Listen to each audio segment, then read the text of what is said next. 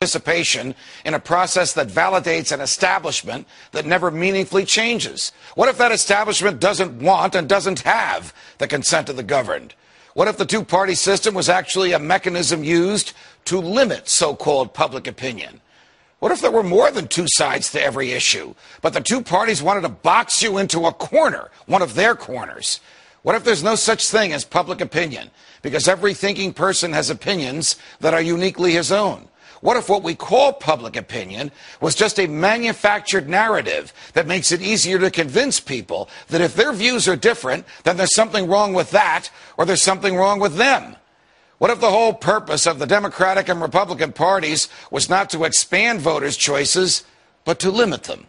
What if the widely perceived differences between the two parties was just an illusion? What if the heart of the government policy remains the same no matter who's in the White House? What if the heart of government policy remains the same no matter what the people want? What if those vaunted differences between Democrat and Republican were actually just minor disagreements? What if both parties just want power and are willing to have young people fight meaningless wars in order to enhance that power? What if both parties continue to fight the war on drugs just to give bureaucrats and cops bigger budgets, and more jobs? What if government policies didn't change when government leaders did? What if no matter who won an election, government stayed the same? What if government was really a revolving door for political hacks bent on exploiting the people once they're in charge? What if both parties supported welfare, war, debt, bailouts, and big government?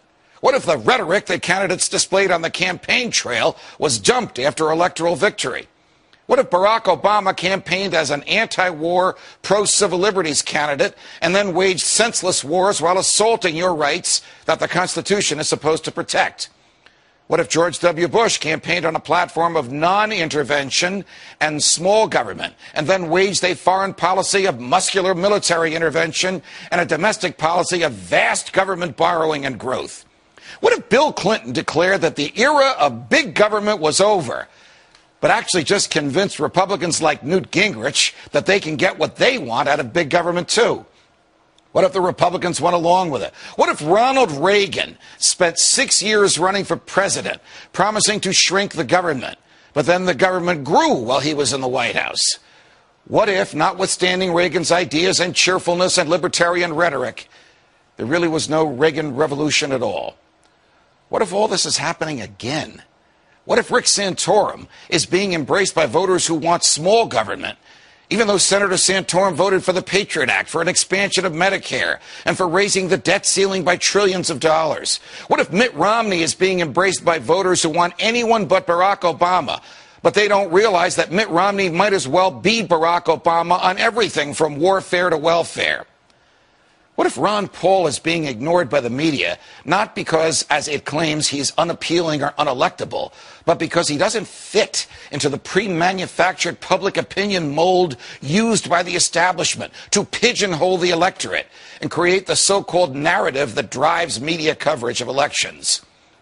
What if the biggest difference between most candidates was not substance, but style? What if those stylistic differences were packaged as substantive ones to reinforce the illusion of a difference between Democrats and Republicans? What if Mitt, Mitt Romney wins and ends up continuing most of the same policies that Barack Obama promoted? What if Barack Obama's policies, too, are merely extensions of those from George W. Bush? What if a government that manipulated us could be fired? What if a government that lacked the true and knowing consent of the governed could be dismissed? What if it were possible to have a real game changer? What if we need a Ron Paul to preserve and protect our freedoms from the government? What if we could make elections matter again? What if we could do something about this? From New York, defending freedom every night of the week.